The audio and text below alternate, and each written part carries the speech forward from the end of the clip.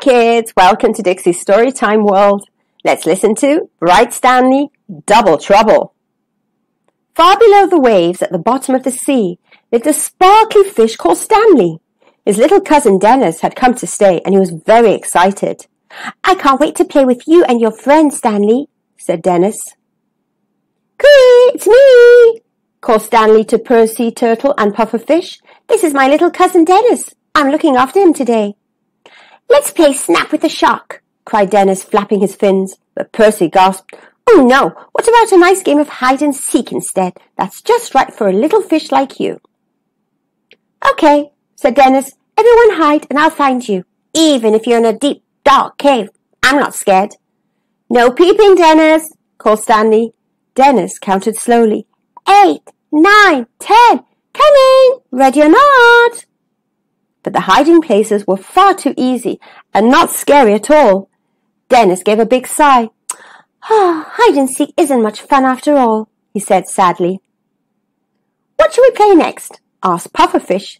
I know, let's all arm wrestle octopus, exclaimed Dennis. Oh, smiled Stanley, we could bounce on the sponges instead.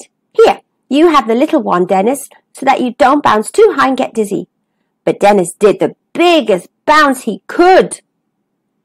Whee! He shot off far into the sea. Dennis, come back! called Stanley. I'm supposed to be looking after you.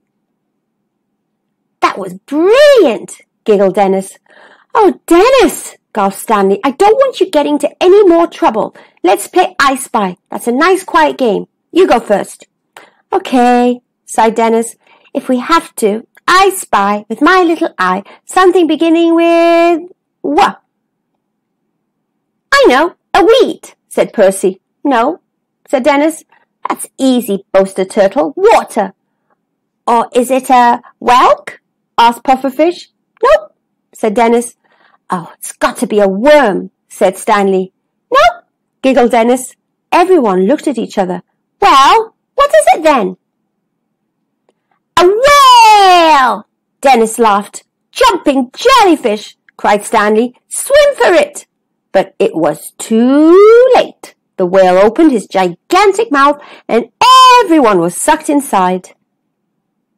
It was very dark inside the whale's mouth. Oh, I'm scared, said Percy. Me too, said Pufferfish and Turtle.